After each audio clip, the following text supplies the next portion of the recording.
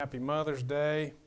Uh, if you, um, we won't take the time right now, but we've got some flowers over there for the mothers. She's already got one. Uh, Brother Stevie, make sure you take one home to your wife. And, and uh, so we are glad that you're here on this Mother's Day. And he read he read that chapter and you begin looking at that like really that's a Mother's Day text. Mothers are supposed to be honored on Mother's Day, and I agree with that. They're supposed to be uh, recognized, and we certainly try to do that. And then I get up here and and uh, read a chapter that says women are supposed to have modest apparel. Like, why are you picking on the women? Shamefacedness. so this passage actually came up has come up a few times in the last I don't know maybe month or two, and uh, there's a few things that I kind of skipped as we went through this. I kind of just briefly mentioned the chapter and skipped those. And uh, let's take a minute, first of all, to look at what shamefacedness is. So this is just pretty much uh, uh, just kind of way, just kind of instruction here. 1 Peter 3 4 is a cross reference. 1 Peter 3 4 this is something I think I have uh, skipped a few times. And you say, what is shamefacedness? What does that actually mean? She's supposed to walk around like she's ashamed? Well, not necessarily, but maybe another word that we might use would be bashful. Isn't, that, isn't being bashful kind of a feminine thing?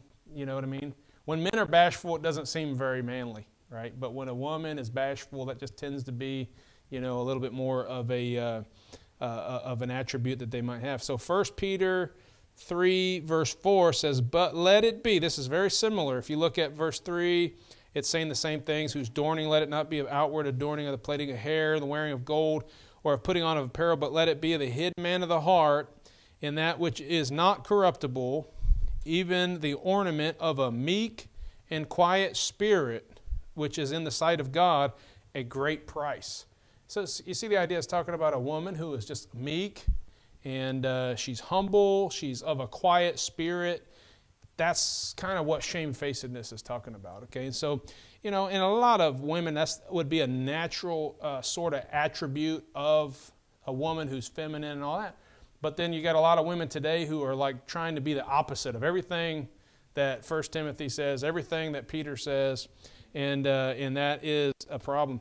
So, yeah, so it's talking about shamefacedness, modest, modest apparel. Let the women learn in silence with all subjection. And verse 12, it says to be in silence. Know, that's not a very happy Mother's Day type thing. Well, uh, I, I was wasn't sure what I was going to preach. I have two Mother's, well, three Mother's Day messages today. Okay, I already preached one, and two, I wasn't I wasn't sure if I was going to preach this one uh, or another one. I wish you could hear the other one too. Maybe you could uh, see the live stream or something like that. The other message I'm going to preach tonight in Iola, uh, because it actually fits into the Bible reading schedule for the for last week, and uh, that's what I try to do every Sunday night. And it's talking about the looking to women, looking to women. And the funny thing is, uh, my wife has, has, has we, we were talking about this on the way home, and oftentimes there is uh, there are a couple particular ladies I look to whenever I'm preaching. I don't know why. It's like for affirmation. There's certain ladies that I look at because they, they there's a certain smile on their face or or you know they seem like they're with it or something, and I look for them. The other one is my wife. No doubt, you guys have all noticed that. Like I'm just like, oh, what what day is it? That wasn't the right verse. What? I really rely on her and I lean on her, and that's natural. You know, she's my my help meet for me, right? I started to say help me, but see, again, my wife would have got onto me for that. my wife, I mean, my help that is meet for me, right? And so I looked at that, and so I got to, we got to talking about that, and I realized other guys have picked up on that. I don't know if it's because they watch me or if it's just my wife's personality or whatever, but they'll start saying something, and then they'll just look to her like, "Was that right?" or or something like that. And so I began to think, was that wrong? Is that a wrong thing to do? Like, should we never? Should we just kind of ignore the ladies? You know, like, hey, isn't your place or whatever. And when you start going through the Bible, you see that's just not the case. There are a lot of women that were looked up to in the, the Bible. And so I'm preaching that in Iola tonight. However, do you know it is a punishment of God when a nation is run by a lady or children are oppressors, you know, to the nation? And, uh, and I want to bring some of that up uh, too. So, so sometimes when the woman is looked up to to the point where they overlook the man and who cares about the man, that's actually a shame. And that could actually be a punishment of God. But there are good, godly women in the Bible, you know, that, that the men seem to look up to and went to. And one of the, you know, prophetesses that they went to to go seek for counsel, you know. And then you think of, of, of Deborah, you know.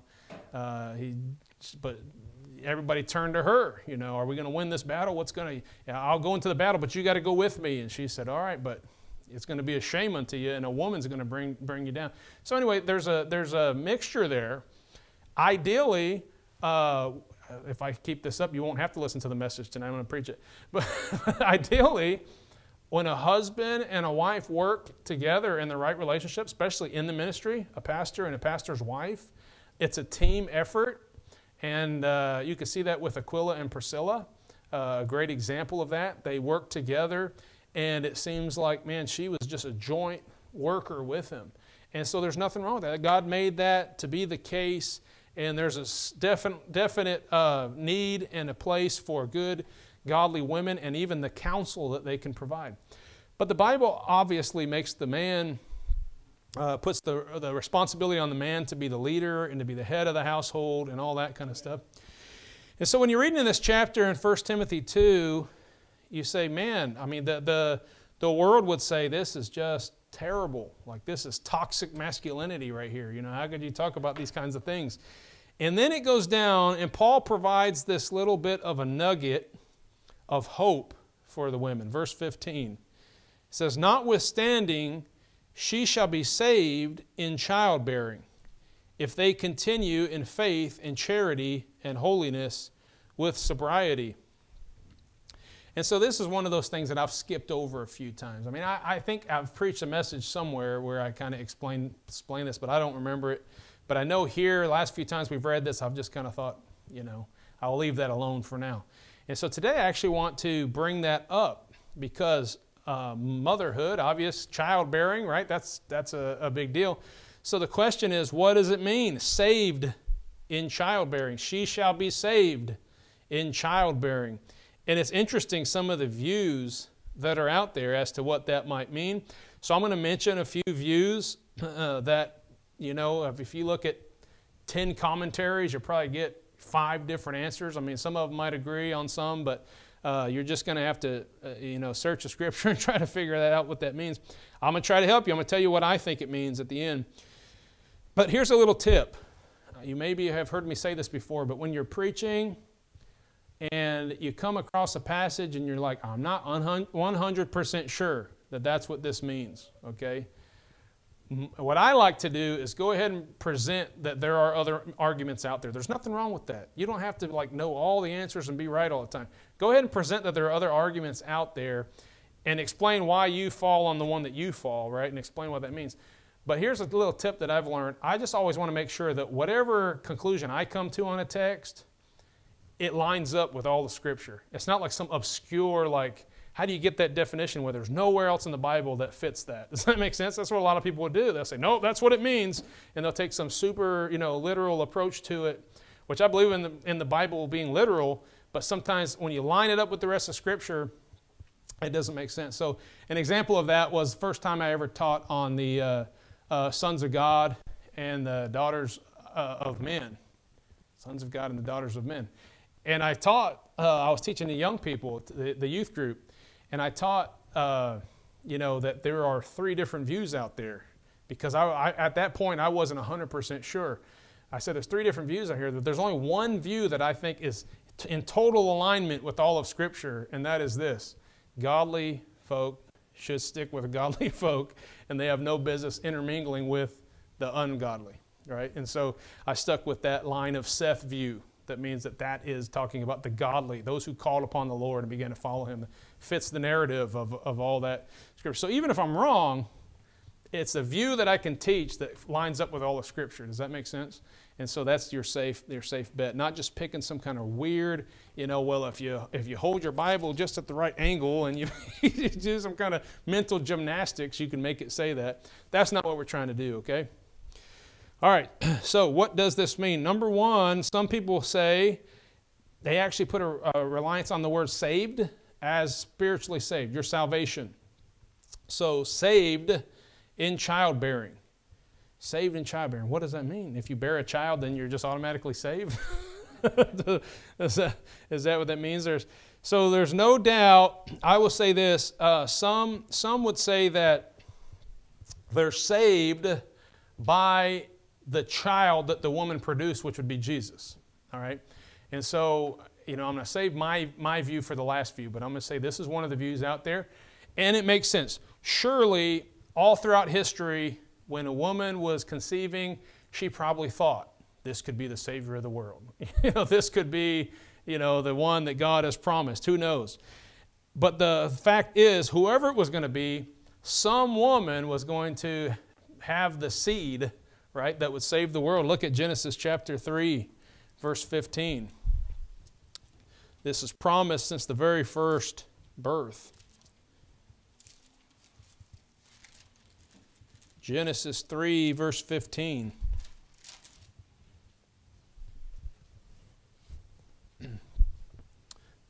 the punishment on uh, the serpent after the fall of man. He says, I will put enmity between thee and the woman, and between thy seed and her seed. It shall bruise thy head, and thou shalt bruise his heel. All right, and so obviously this is talking about a spiritual seed, not uh, the literal, you know, uh, uh, line of Eve necessarily, but from a spiritual standpoint. Okay, so you have the devil and what he produces, right? Which, by the way, if you're not, if, you're, if, if, if the Father isn't your God, right? If he's not, if you haven't accepted Jesus and have God as your Father, then the Bible says you're of your father, the devil, right? Particularly somebody who is just like a reprobate. You know, you call them sons of Belial. Those are those are sons of the devil, doing what the devil, you know, would bid, bid them to do. and then you have those who have received Christ. Those are the children of God. All right, so you have one seed, uh, which is a godly seed, and you have one seed, which is a, a wicked seed. At the end, the Bible says that I will short, uh, uh, I will shortly bruise Satan's Satan under your heels. Okay, and he's talking to the church. All right, so Jesus is the one who conquers the the devil. Right, but he does it through the church. We continue to preach the word of God. We continue to hold fast unto that, and he accomplishes that. But, but, but he is saying here that there's going to be this seed. First time I read that as a little kid, I thought, that's why women hate snakes. He says they're going to be at enmity with the So every offspring of the woman is going to hate all the all snakes. And then I started finding some women that actually like snakes, and I was like, well, this isn't right. he says you're going to be at enmity, but he's talking about a spiritual seed, okay? But still, think about people that name their kid Joshua. You know what Joshua means? That's basically the Hebrew word for Jesus. He's Savior, right? And so all these people were, were uh, uh, having children. Maybe it's Jehovah saves or something like that. And, and all these, uh, you know, they were, they were no doubt trying to just hope that one day. That's why if a woman was barren, it was such a, it was such a bad thing back then because, man, it was like their mission in life, their goal to have a child, you know, and to uh, uh, hopefully it would even be the Messiah. I mean, I, I, don't know to what extent a woman would think that, but that was the case. Okay, so by this interpretation, if you go back to our text there in 1 Timothy, they rely on verse 13 and 14.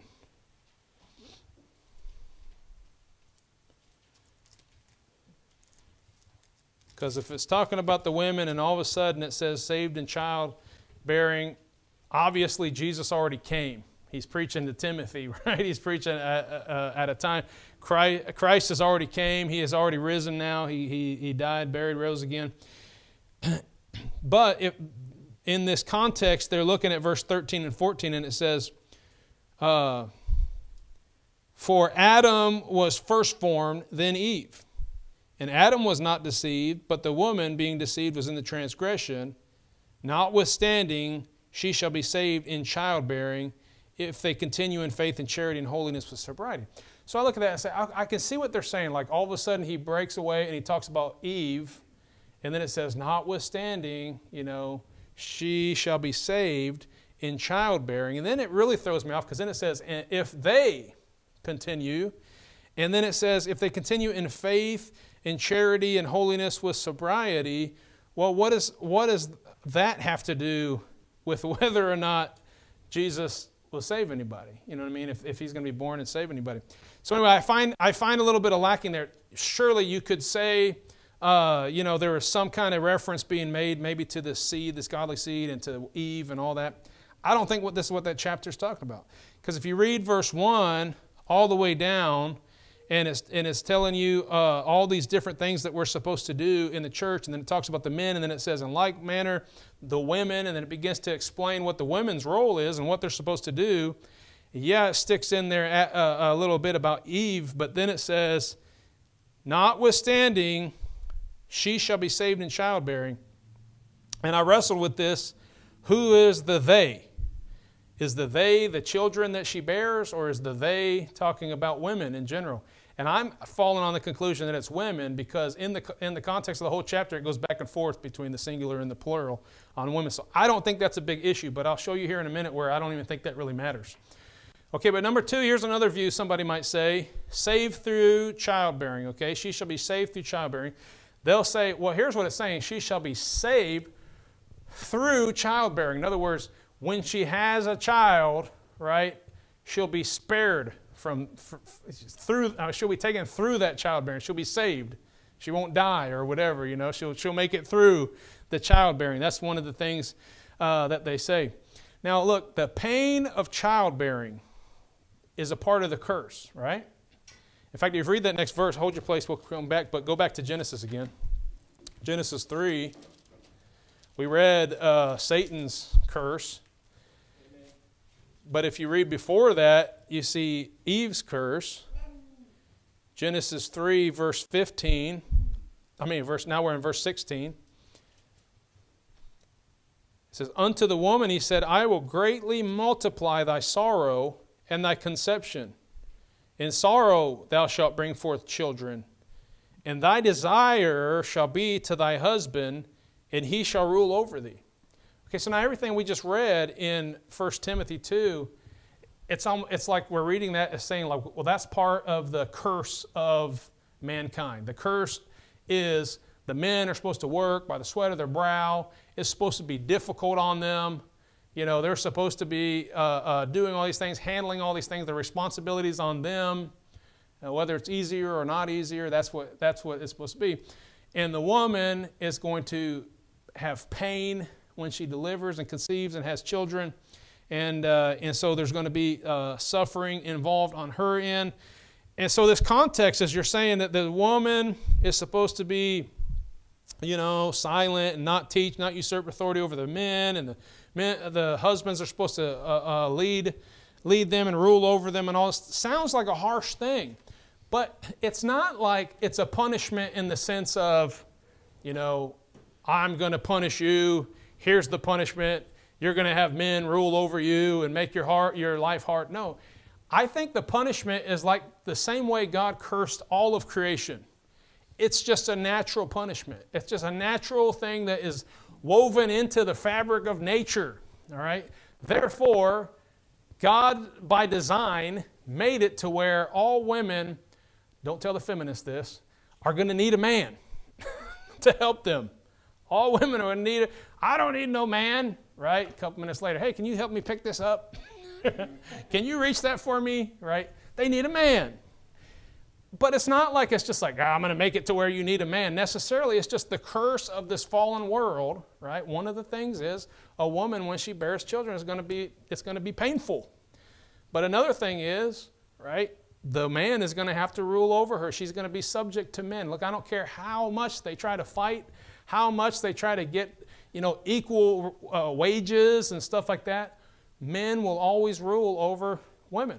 Now, women ought to be thankful that in a Christian worldview, according to the Bible, women are supposed to be cherished and loved and taken care of and protected, right?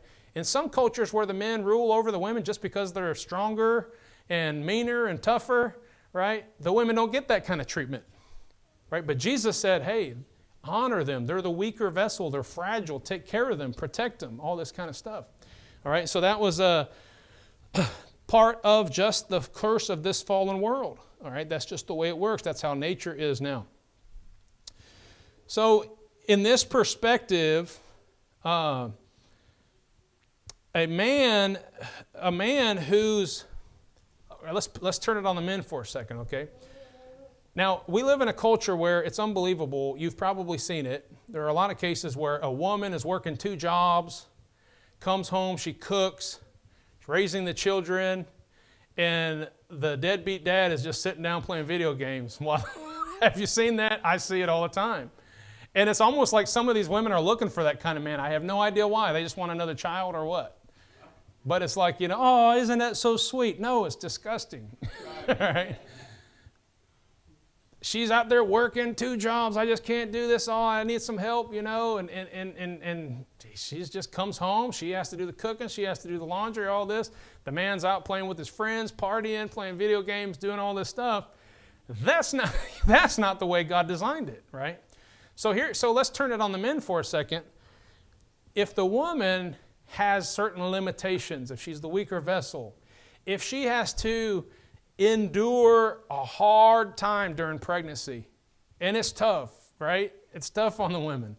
And they have to do that. They have to endure all that. Look, they're going to be home. If, you're, if we're going by 1 Timothy uh, chapter 2, they're going to be home. They're going to be in subjection. They're going to be raising these kids. They're going to be all these things that sound really negative, right? Don't you think the man then should say, Well, I'm at least going to go out there and suffer a little bit myself? if she's got to suffer, I'm going to suffer. But my suffering is while she's home, I'm out there working double job if I have to, you know, work, pick up another job, work hard, you know, make sure the bills are paid and all that kind of stuff. It's the way God designed us. I preached this morning in Iola about the, uh, I, I, said the um, a mother's wings, all right? I talked a little bit about wings, and I use the analogy in the, which the Bible gives. Jesus said, Jerusalem, Jerusalem, how often I would have gathered your children under my arms like a hen, right? One version says, and her broods, right? Or her brood. And another one says, her chickens under her wings.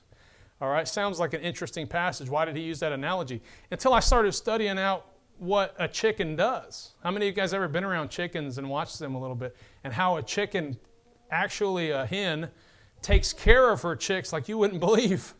If any kind of predator comes around, I mean, she'll go peck them, right? And then she'll run back and protect her little ones. And the little ones just follow her everywhere she goes, right? And, and I saw one uh, video where it's storming outside. It's like a third world country, and it's storming out. And, uh, and right in the street, somebody started filming this, uh, this chicken because, you know, third world countries, and in some places in the United States, chickens walk up and down the streets. and so they're filming this chicken in the middle of the streets, this hen, and she's got probably six or seven little chicks under her. And she's holding us up. She's getting drenched, you know, poured on. But those chicks are just dry as can be, and they're cuddled up under their, their mother's uh, uh, warmth and all that stuff. And so that's the way God designed it. And so I was explaining to them this morning that here's what happens. What about that rooster? What's he doing? Right? He's not protecting those kids. I mean, he might be doing something, but you know, them roosters, they just walk around all, all proud and all that. And Sometimes men can be kind of like that. But look, here's how God put it, here's what God put in our nature. All right? Uh, and I use this illustration. If, if we're just at home and you know, now my kids are getting older, but I'm, I'm thinking back a little ways. We're at home and we hear it sounds like somebody's getting ready to break into the house. Do you think they're going to come run into my arms? Right? Dad will protect me. No, they're going to go run to mommy's arms and they're going to say, Dad, go protect us. I'll get my comfort from my mom, right? And my love and my affection and all that from my mom. And the protection and the provision and all that from dad. He needs to go out there and do that. That's the way God designed it. That's the way it's supposed to be. All right? That's part of the nature that God put here. We can like it or not like it, doesn't really matter. And, and when you read that in the Bible, you say, it's so true. It's so true. And it's natural. It's not like, you know, there's some, this is some weird book that's forcing some weird rules on us. It's natural. We're the weird ones when we try to fight against it, all right, because it goes against nature, all right? And so it's really interesting. Childbearing is just part of that, that whole experience, that whole part of curse of fallen man. And obviously, you know, childbearing is also a beautiful thing, as we'll get to here in a second. but the man ought to work hard as well. It's not like, yeah, we're just going to sit down and play video games while our wife does all the work. Okay, that would be crazy. 1 Timothy 5 8. But if any provide not for his own, especially for those of his own house, he hath denied the faith and is worse than an infidel. Like even an infidel naturally knows, hey, I got to take care of my family. right? But we don't want to be like that. Okay, so, but here's the thing as a whole, it is true. Women survive mostly, mostly, women survive childbearing.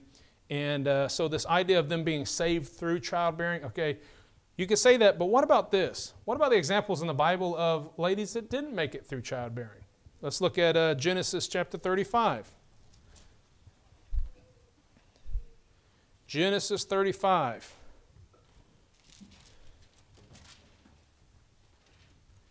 Look at verse 17.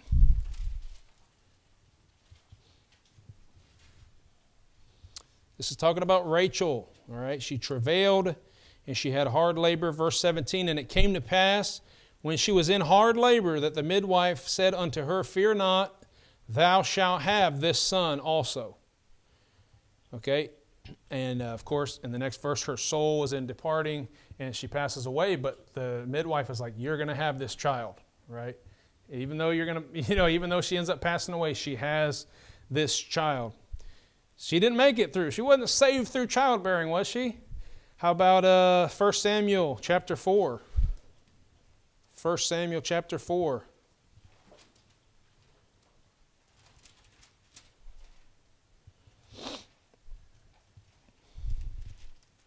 Now look at verse 19. this is uh, you know, Eli's sons, Hophni and Phinehas, they, Eli and his sons die. And his daughter in law, Phinehas' wife, was with child, near to be delivered. And when she heard the tidings that the ark of God was taken, and that her father in law and her husband were dead, she bowed herself and travailed, uh, for her pains came upon her. And about the time of her death, the women that stood by her said unto her, Fear not, for thou hast borne a son. But she answered not, neither did she regard it. I just just popped in my mind just now, but isn't that so opposite of what we see so often in our world today? It's like, well, me first. You know what I mean? Yep. You can let the baby die, right. but I you better save me, right? Yep. And here you see these people, they're on their deathbed, they're fixing to die, and they're saying, hey, don't worry, this baby's going to be born. Isn't that something? They weren't saved though through childbearing. So, so what, is, what does that mean? Well, here's the third. Here's a third view. This is a very rare view, but there are some people that look at this view. Some people say this: a woman goes to heaven if they die in labor. here's what's funny. This is a Muslim belief. I mean, there are some Christian interpretations of that verse. Very few, but there are some that believe that. But here's a, a Muslim. Here's a little writing from Muslim. I don't think this is out of the Quran, but it's some kind of writings of theirs. I'm not well versed in, in uh, Muslim, in, in Islam. Here's what it says Who is counted as a shahid, which means martyr, among you? And then the person answered, The one who fights and is killed for the sake of Allah. You understand that? They think if they are if they die as a martyr for Allah, then they'll go to heaven. Okay, you, you understand that? And then I think this is the prophet. I think this is supposed to be Muhammad talking. And he says, then the shahids among my, my Ummah would be few. So he's saying, like, if it's just the ones, you know, that die, you know, they, they, they die for me, you know, as a martyr, it'll be very few. And he says this The one who is killed for the sake of Allah is a shahid or a martyr. The one who dies of plague is a shahid. The one who dies of a stomach disease is a shahid. The woman who dies with a child in her womb is a shaheed. You know I've noticed about all false religions is like they want to say there's only one way to get to heaven, you got to please God. And then it's like they realize nobody can please God, so they start saying, okay, we'll make this exception and this exception. we'll get purgatory, you know, maybe you can get out. And it's just like, let's make it as easy as we can because we know like this is, this is a tall, tall order, you know, to, to fit. And, and so, look, we know that's not true. You know, we know Nobody is going, to heaven based on their works. Nobody is getting to heaven because their death was more honorable than somebody else's death. Uh, we understand that is not uh, uh, salvation at all. And in fact, if that's the case in that in our text, then why does it go on to say if they continue in faith and charity and holiness with sobriety, unless they're saying they have to continue on their deathbed? that's, but no, no, no. We know that view is false. Okay, so here is the view that I think we can get. Let's go back there. First Timothy. Here is the view I think that makes the most sense and lines up with Scripture. I think that through childbearing, the whole family really, but the woman is what who he's who's being addressed here. The woman is saved, not meaning that she goes to heaven, right? but she's saved from various troubles and hardships in this life through the child that she bears, through the offspring. She could be relieved from some of this. So the hope is that if a woman does right in raising her children and setting a good example, then her children will be a blessing and a help to the family. Okay? So, so now you see where it doesn't matter. Let's go back to that verse there, 15 Notwithstanding, she shall be saved in childbearing, if they continue in faith and charity and holiness with sobriety. Eh, to, an, to an extent, it doesn't matter if this is talking about the children or it's talking about the mother, because here's the idea. If the mother sets a godly example to these children after they're born, and she lives in faith and godliness, she raises those kids the way that they're supposed to, and then if they go on and they carry out what their mother taught them, and they live godly and holy, doing what their parents taught them to do, well, guess what? That child is going to end up saving, not spiritually saving, but saving them, you know, because they're doing what they're supposed to do. And uh, they're con- contributing to several things. So here's some things that they might be saved from, okay? They might be saved through the hard labor that they're doing. You know, that we have it pretty easy now in our society, in the United States in 2020, even with the coronavirus, we have things pretty easy. right? Some parts of the world, not so easy. I was just hearing a testimony from somebody in India, right? And they said they're also doing lockdown. The thing is, when we get locked down, there's a lot of help, there's a lot of uh, assistance from the government, there's a lot of, uh, uh, you know, loopholes, and we still, maybe savings. You had enough savings. Don't you love all those movie stars that are living in their mansions and they're making this video? Now do the right thing and stay home as they're in their jacuzzi and you know in their mansion. You guys do the right thing and stay home now uh, during this time and save lives, right? And so they're doing that. But in India, you have to understand.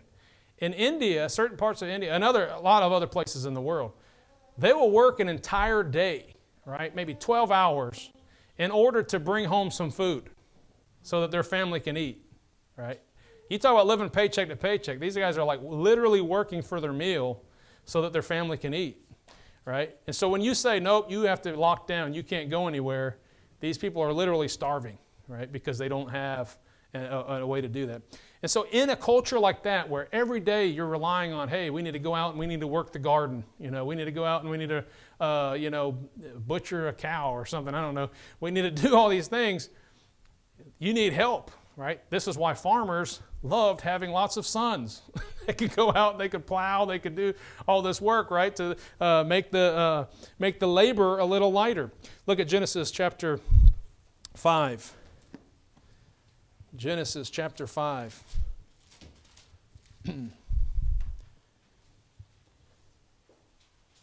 In verse 29, Genesis 5 29.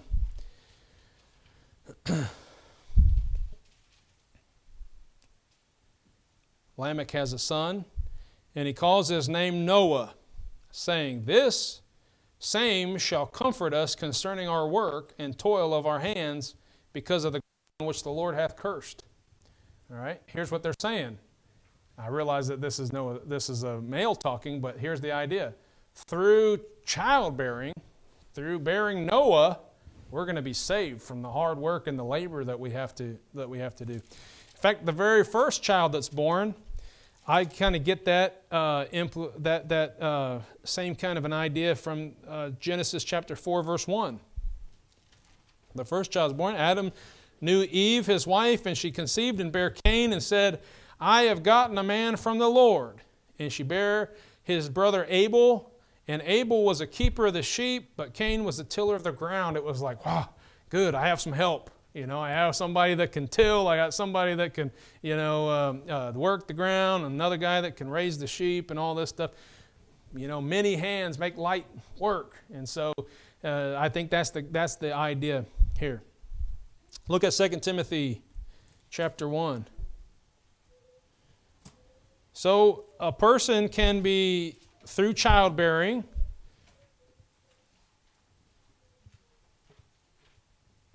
They can be saved through the labor, you know, that it takes to, uh, uh, to operate the household. They have some helpers with them.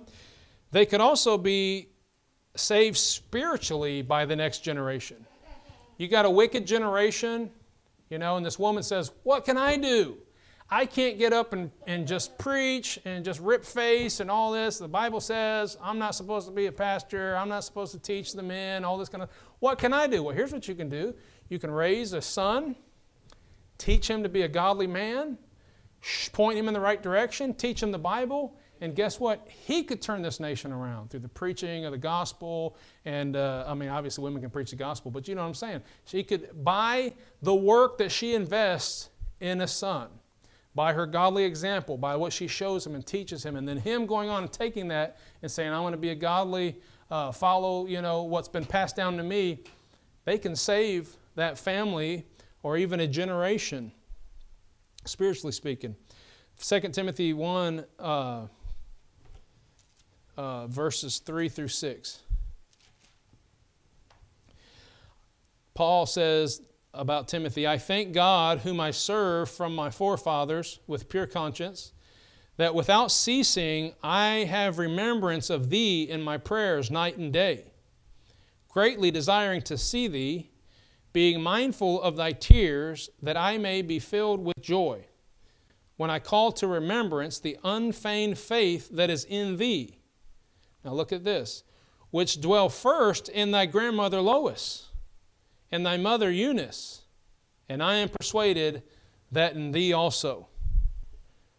Wherefore I put thee in remembrance that thou stir up the gift of God which is in thee by the putting on of my hands. For God hath not given us a spirit of fear, but of power and of love and a sound mind. So you see here this picture that's being painted of a godly grandmother, right, who, who had a daughter and passed on some godly wisdom to her and showed her the scriptures and taught her how to be a good woman. And then that woman has a son named Timothy. And she teaches him the scripture. He gets saved, praise the Lord, right? The scriptures will make you wise unto salvation. And she begins to teach him how to serve the Lord and how to do all these things.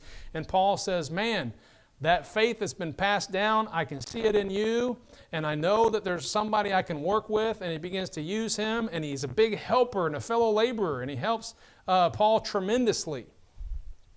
And so, here is the conclusion I want to just point out. It's Mother's Day, and we all have mothers, uh, or have had mothers at some point. But many of us had godly mothers. I'm not going to get a show of hands here, but many of us had godly mothers. Uh, to some degree, they were faithful and they taught us good things. They pointed us to the Bible. Even if they didn't know all the answers, they did that. And I'm often mindful of, and of course, we want to continue that on and maybe have even a more spiritual you know, generation that comes up after, after our generation. But I'm also often mindful of this idea that every time you see somebody out there, there's always an exception to this, but typically you see somebody out there who's a successful person, right? Even if it's a businessman, probably he had a good mother behind him, raising him, teaching him. Not always. I understand there are some exceptions where a man had to learn, you know, on his own to do certain things, but probably had some kind of good godly influence, or at least godly type morals and, and ethics, okay, that were taught to them. How many successful businessmen, even, probably had a faithful, loving, godly mother to thank? How many pastors, missionaries? I mean, I guarantee a lot of them. I hear a lot of pre- preachers talk about, You know, where would I be if my mom didn't keep praying for me and keep, you know, pouring into me the God's Word and dragging me to Sunday school and dragging me to uh, church? And, and I hear preachers talking about that all the time, and I think, man, we have a lot to be thankful for, you know, of, of mothers that were there for us and raised us and, and took care of us and passed on godly things to us. How many soul winners, you know, various preachers, evangelists, whatever, they've, they've got faithful, loving mothers. And, uh, and we have somebody to, something to be thankful for for sure. So some people think Christian women are so mistreated. I don't know. I've gotten that so many times. I remember having, having teens whose lives were falling apart, whose moms were like, uh, you know, women's lib, you know, and they're, and their lives are falling apart. There's no man, and there's no dad in their life, and you know, they're in and out of drugs and they're on all kinds of stuff and they're getting in trouble all the time, you know, uh, calling me up with all kind of weird stuff, calling me up from the mental hospital, hey, can you come visit me, all this kind of stuff. And then I would preach one message, you know, about the husband's role and the woman's role and whatever, and these guys would say just, man, I can't believe you tell your wife what to do which I didn't actually say that, say it that way, but that's the way he, he interpreted it. I can't believe you tell your wife what to do. I just think women should be equal with men and they should have the right to do this and that. And I'm like, man, you are missing it. You're missing it all. You're trying to read into this, this worldview that's been fed to you through the public school yep. about how all these fundamentalists just hate women and they're trying to keep the woman down and they're mistreating them and all that stuff. You're missing what womanhood is all about because you've been fed a lie about that. People think Christian women, fundamentalists especially, are mistreated. They're like second class citizens, you know, stay at home servants or maids, and they just stay barefoot and pregnant all the time. that's, that's what we get taught. Uh, that's what we hear. They think that the woman has to be in su- subjection and she's not allowed to teach and preach in the church. And man, these guys are so radical trying to keep the women down and all that. And maybe some of that is true. Maybe there are some limitations. Maybe some things that might be, just doesn't seem fair. Seems like a woman should be able to do this and that. But here's the thing that they're missing is that the woman has the responsibility, the potential, the, the, the built in tools, and she's equipped to, to do this to raise a future generation. A mother has that power. Now, when we take away that power and we say, no, no, no, I'll raise your kids for you, you go out into the workforce, they mess it all up. Yeah. All right? You need to go out there, you just pursue your own dreams, you go get your career, you go get whatever, we'll take care of your kids for you. The next generation is just totally messed up at that point. All right? But the woman has the opportunity, if she follows the Bible and follows uh, what God has put in place here and what He's naturally given us, you know, that works every time is that the woman has that ability to be godly, share that example with the kids, raise those kids, train them right so that they might live godly and they might go on to the next generation and actually do something. Guess what? She's got more power than the man. I can go out, I mean, I can be an influence to my kids and I can go out and I can do all this stuff, but man, the future generation, in many ways, being shaped by the woman at home. And you take that out of the, out of the equation, and we are not saved through childbearing like God designed it to be. That's what I think it means, and that's a, I, something I definitely think is consistent throughout the Bible. So let's pray and thank God for our mothers. Father, thank you for the mother I had in my life and, and that my wife had uh, in her life to raise her and, and, uh, and I pray, Lord, that you would just help us to show enough concern for future generations that we would seek your word and seek your face and say, What is my responsibility in raising the next generation? And Lord, I know your way works, it always works. And so I pray you help us to submit ourselves to it and uh, do the best of our ability what you have told us to do. We pray you be glorified. And I pray, Lord, that you would uh, uh, just bless in a mighty way as uh, we seek to do your will. In Jesus' name I pray. Amen.